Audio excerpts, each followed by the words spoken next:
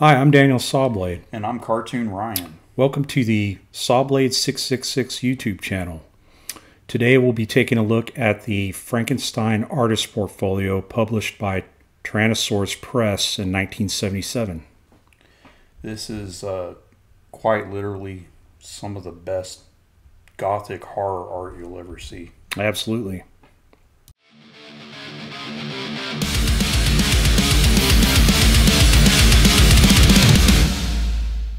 So the Frankenstein portfolio, um, man, I was so well. a little backstory on this.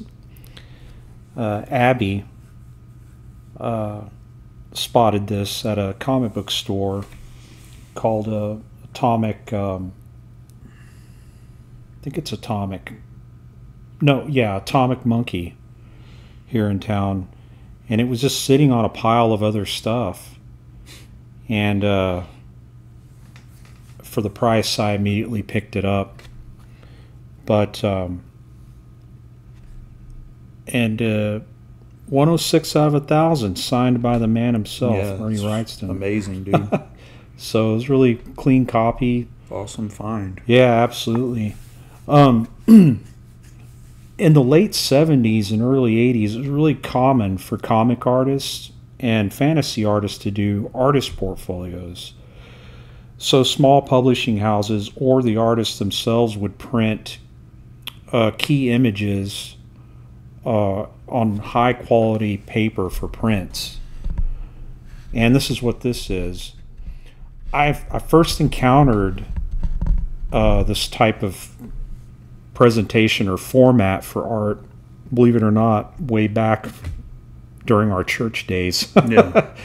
Somebody at church had um, a Conan portfolio by Barry Smith that they let me Man. borrow. awesome. And holy fuck, yeah. Yeah. Uh, just that that really triggered uh, just that hunger to see really fine published uh, or printed matter concerning art. And this is a great example of it. I love this cover art. This is my actually one of the first if not the first bernie wrightson image i've ever seen. And again another church person ironically Yeah. enough um, mark crittenden showed this book to me. And i think his copy had this cover. So um, there's been different pub- publications of this material and for Yeah. good reason Oh yeah. I mean, it's legendary. It's one of his most famous works. it's you know? iconic i think Yeah. it took him five years to illustrate it I believe it. Yeah, totally. Because I mean, you look at. I mean, another good comparison, and we'll have to do it later down the line. Is Robert Crumb's uh, Genesis. I think that took him like what seven years, I think, or something, like that. Yeah. yeah So that actually has more more um, illustrations in it and it was a comic so yeah, but th- I Um, mean, dude, the the level of detail. Oh, it's insane. It's it's unreal. You know. So we're gonna open these, open this up. There's a series of prints in here, and um, let's slide these out. Look at that. Even comes with the uh, the um, Here, I'll zoom in a it's like a little um, flyer or a little uh, just a little note regarding uh, what this is and the information on the book because it hadn't come out yet at this point. This is 1977, so It's amazing that you have that slip right there. You know. yeah, it's so cool It's, that it was uh, in here. Yeah. Um, well, the the the person that owns Atomic Monkey, this is from his collection, Yeah. so he uh, bought this when it came out. So And he was willing to let it go. yeah, yeah. Uh, He not- probably has an extra one, I bet. who knows? Yeah. Yeah. not me. This is uh, this is it. Oh, let Oh. me zoom out here. Yeah, zoom out. Cool. Okay, so I, I don't know what else to say. What hasn't been said about this, but we're coming from a point of view as um, being artists ourselves, and me primarily working in pen and ink with all my stuff, I still am blown away by this. Um, it it really re- recalls or or takes me back to um, learning about artists like Franklin Booth, which I later found out influenced Bernie Wrightson. Hmm. Franklin Booth was a pen and ink artist that was inspired by engravings he saw, but he didn't understand that it that was a whole different process. Oh, it wasn't okay. actual pen and ink, but the, he emulated it with pen and ink, and that's what created this crazy, super detailed line work. Mhm. So, um,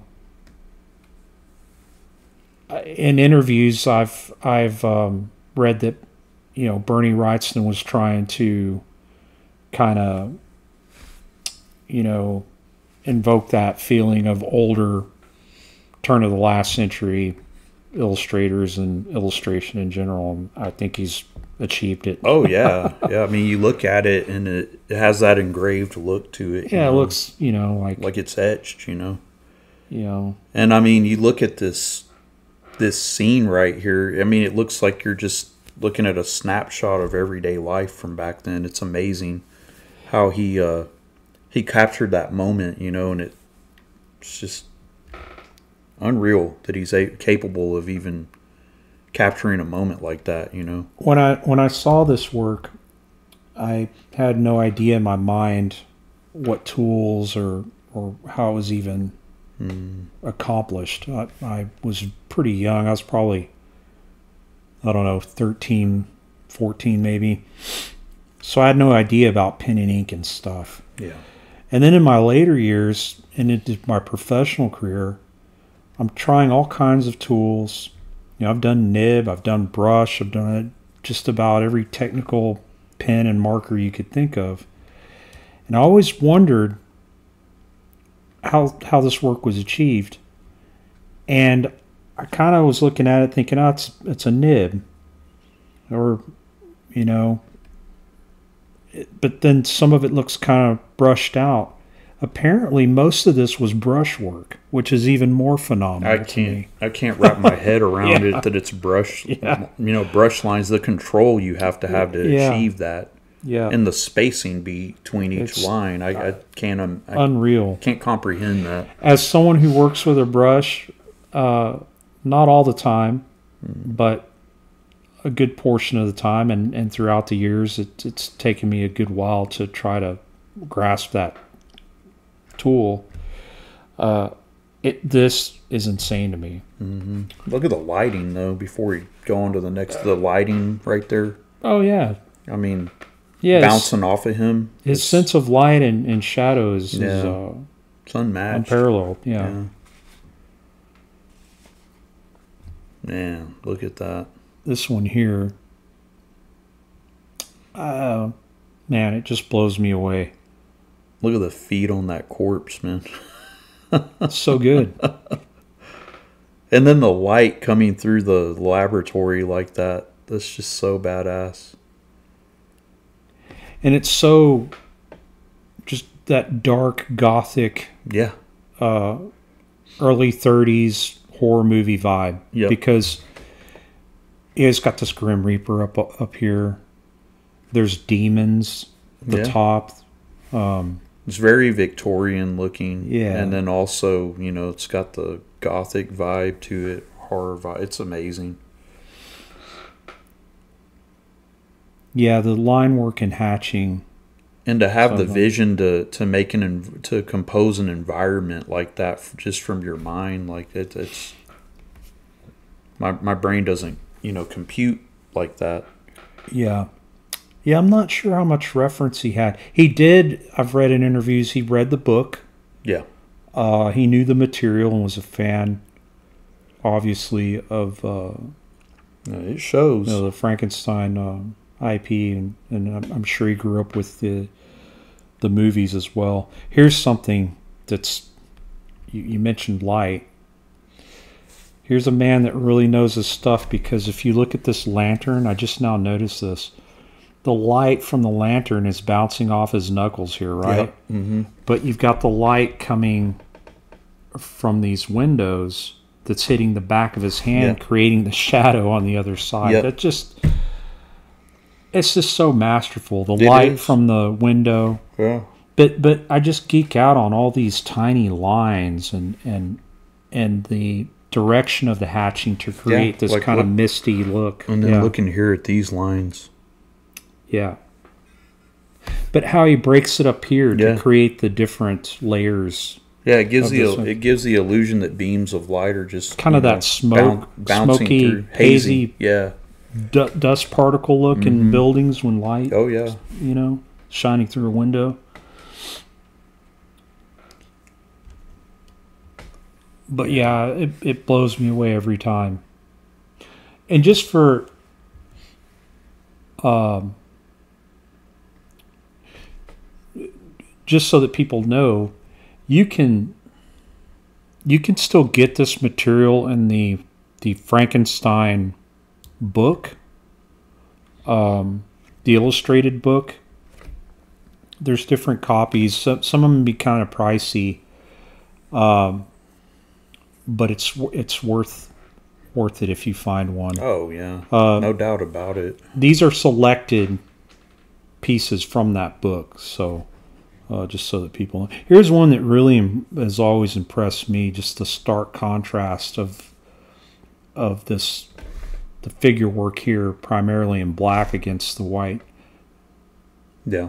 background uh the buildings i mean it's just so so good Yeah, it, I mean, like you said, the contrast too is a, is really cool because you have all this dark down here, and the characters are dark, super dark, and then the background's a lot lighter. They just they pop out immediately. Your eyes go to the the center of you know action where the action is. Yeah, he framed it in such Yeah. a way that's that's uh, your eye moves Yeah. where it was intended to move. On all of them, really. The detail of the image. the rock getting thrown, you know, there's objects being look a Yeah. frying pan, a Yeah. rock.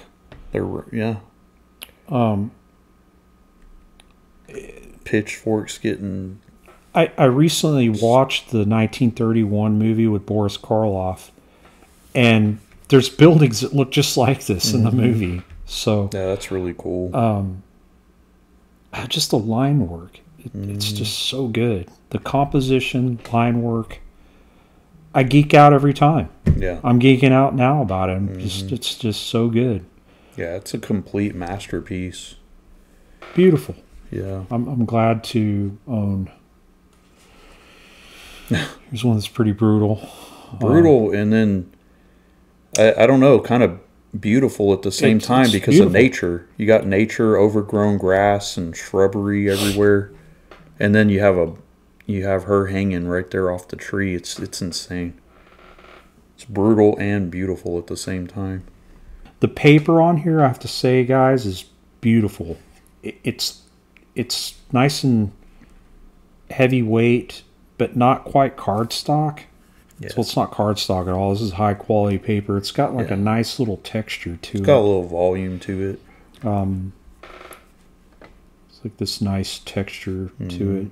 Uh, but it, the ink just goes so well. It's so sharp and crisp Mhm.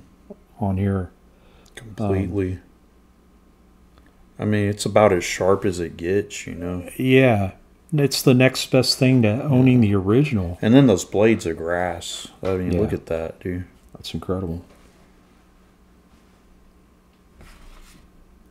There Oh, you go. Look at that, man. Talk about striking. And the size of that thing, man, that monster. Look at that. It's just it's massive. And it really does give the look of being composed from different body parts and stuff, you know. Yeah. It's- he did a really good job on that. The twisted, contorted. Yeah, it's all contorted and not right. I'm not sure if here this is white media or that he scratched through the black, but uh, whatever he did is quite effective. Oh yeah, it gives that illusion of, you know, rain dropping through there and wind. So badass, man. Good God. Solid blacks, man. Yep. The directional line work of these clouds leading to this figure. hmm You can- you know, you can just really learn a lot Yeah. from looking at this stuff. I mean, that's as You know. cinematic as it gets right there. I mean, I that's, agree. That's uh, I mean, that's a still shot from a horror movie, dude. yeah, Ah, dude, look at that Yeah. interior. And it really does give the impression that that office is being used at its fullest capacity. He's got papers, It's pretty lived in, right? Yeah, stacks, stacks of books, beakers everywhere. It's just look at this this skeleton Yes. just chilling right here in the coffin. yeah, so much going on, and then the the the woodwork, the woodwork in here yeah, the The wooden beams everywhere. Great. to pull that off and have it just flawless like that is just what's beyond me. We'll go through the book too at some point Yeah. because uh, there's a lot of illustrations that uh, that are left out from this uh, presentation. Uh, but I thought we'd go over this just to show the quality of the printing and then the, the scale. Yeah, the size Yeah. of it's what's cool. That's what eleven by seventeen. Uh, or 14 maybe. Yeah. yeah. Yeah, that's that's really cool to see at that size. I've never seen those images that big. It's always been in the book, you know. Yeah. Yeah, that's that's a great find for sure. Absolutely. I'm just noticing how, again, he's playing with light sources. You know, see that lamp is Yeah. solid white, It's completely lit up. but then he, the way he hatches this kind of smoky effect. Yep. That's just, Yep, oh, that's so from the from the flame. Yeah. That's so good. Yep. If you're not familiar with Bernie Wrightson, look look into his stuff Yeah, because it's a must. if this must. isn't enough to spark the interest, if it wasn't already there, I don't know what else. Yeah, But, uh, exactly. We'll be talking about Bernie Wrightson a lot on this channel.